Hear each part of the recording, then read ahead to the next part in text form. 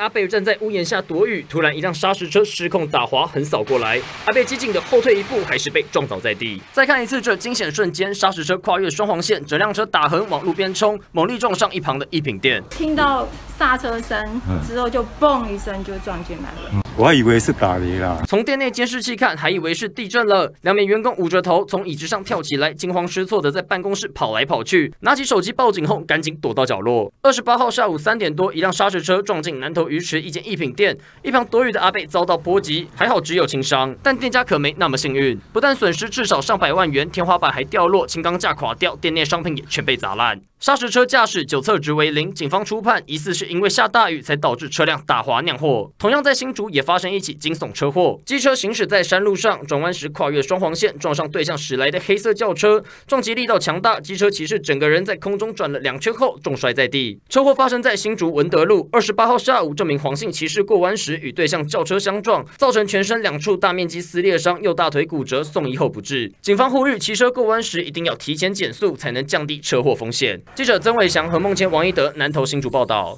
我们要告诉大家，我们有优惠，我们中天的网友哦，这些东西都可以在我们快点购网站上头来购买。现在有三种不同的好康组合，购买的时候呢，不要忘记我们有非常多的这个折扣代码可以给大家来输入，可以享有一些优惠好康。